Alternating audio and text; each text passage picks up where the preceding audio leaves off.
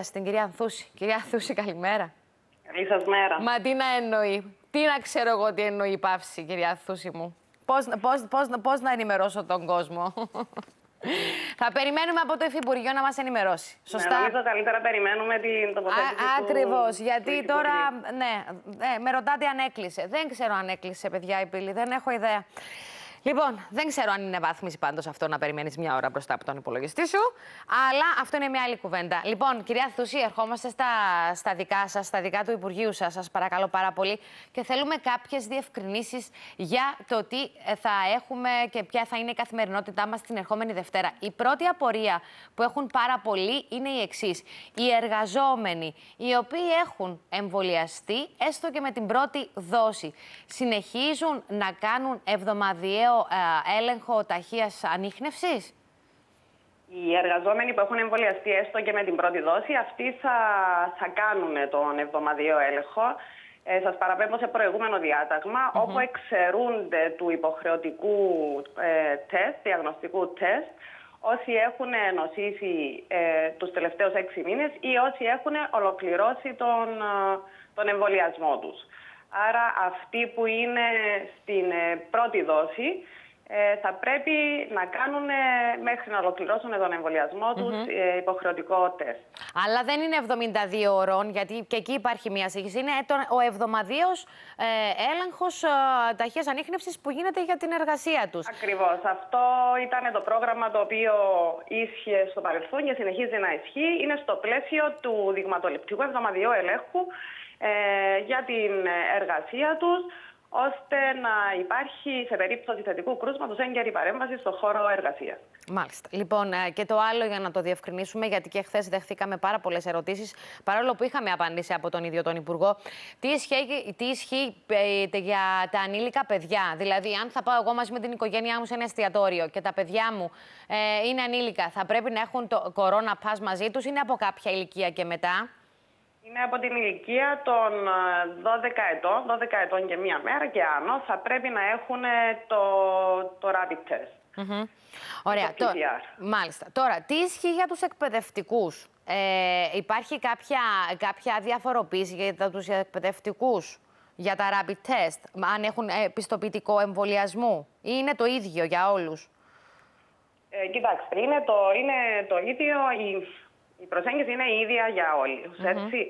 Ε, αν, α, εάν θα πρέπει, σίγουρα θα πρέπει να υποβάλλονται στον εβδομαδιαίο έλεγχο, εκτός και αν ήταν θετικό κρούσμα ή αν έχουν ολοκληρώσει στο πλαίσιο των εμβολιασμών, των, των εμβολιασμών. Άρα είναι ε, ωραία. Επειδή ε, από χθες παίρναμε και κάποια μηνύματα ότι οι εκπαιδευτικοί είναι άλλο πράγμα και οι υπόλοιποι πολίτες είναι άλλο πράγμα, όχι είναι το ίδιο. Εάν έχει ολοκληρωθεί ο εμβολιασμός και οι δύο δόσεις, μόνο τότε απαλλάσσεσαι. Αυτό καταλαβαίνω. Μόνο τότε Ακριβώς. απαλλάσσεσαι από τα rapid test ε, που πρέπει να κάνεις. Όπως και οι υπόλοιποι πολίτες. Δεν ισχύει μόνο για τους εκπαιδευτικούς, το διευκρινίσαμε. ε, Όχι, είναι, για, είναι για όλους τους πολίτες. Ήταν μια ρύθμιση που είχε βγει στο, στο προηγούμενο διάταγμα. Όλοι οι πολίτες, οι οποίοι ήταν θετικό κρούσμα τους τελευταίους έξι μήνες ή έχουν ολοκληρώσει και τις δι- τι- τον εμβολιασμό τους, γιατί και με τον Τζόνσον είναι μία δόση, Ναι. έτσι, έχουν ολοκληρώσει τον εμβολιαστικό τους σχήμα, θα απαλλάσσονται από το υποχρεωτικό rapid test. Θα Ε, απαλλάσσονται και την αυτό επόμενη η- ή θα πρέπει να περιμένουν τις τρεις εβδομάδες που γίνεται με την πρώτη δόση, κυρία Θούση. Ακριβώς, ναι. Α, θα πρέπει να περιμένουν.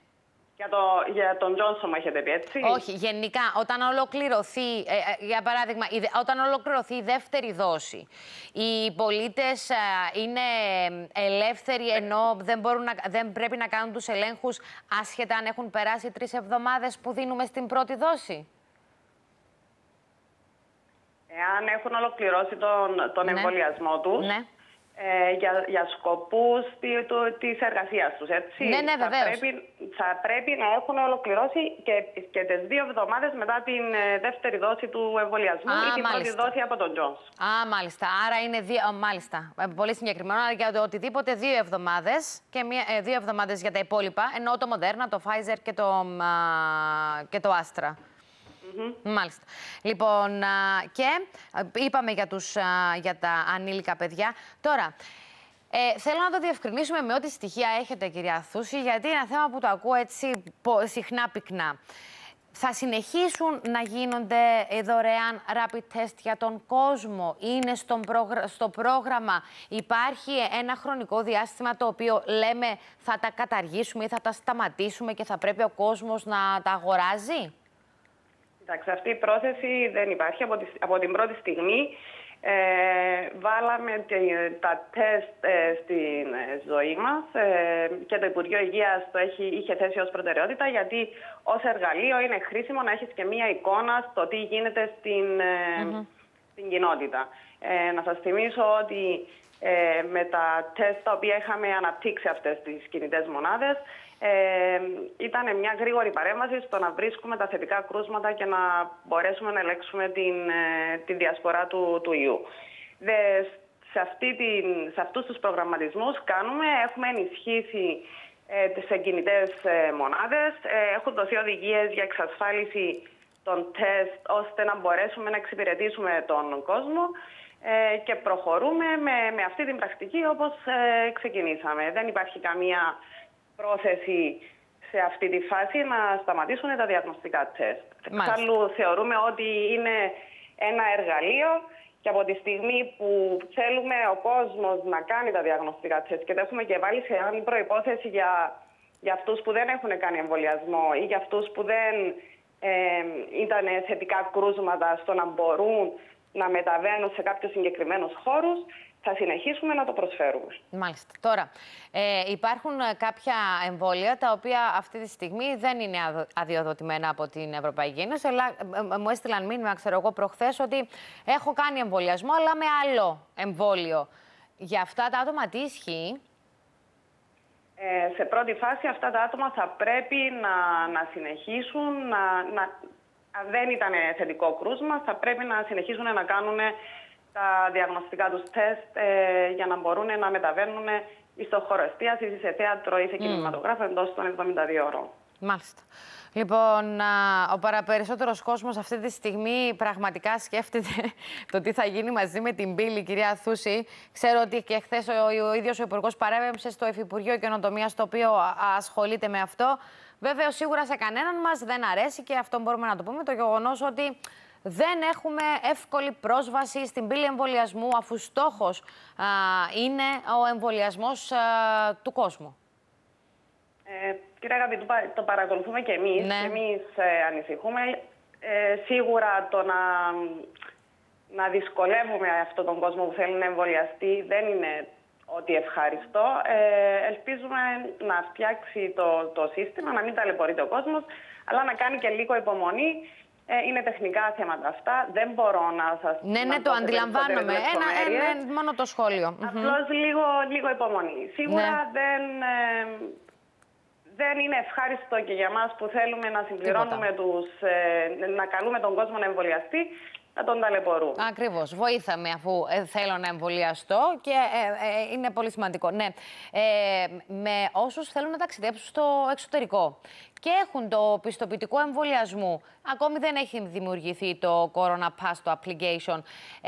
και θα πάνε σε μια χώρα, τέλος πάντων, θα τους δίνετε κάποιο άλλο πιστοποιητικό στα αγγλικά, ενδεχομένως ή σε κάποια άλλη γλώσσα, ή θα μπορούν με την ίδια την κάρτα του εμβολιασμού τους να ταξιδέψουν; Κοιτάξτε, πρέπει να ξεκαθαρίσουμε δύο πράγματα. Αυτό που συζητάτε σε επίπεδο Ευρωπαϊκής Ένωσης για το πράσινο διαβατήριο, για το θέμα του, των ταξιδιών, ναι, ναι. είναι κάτι που είναι.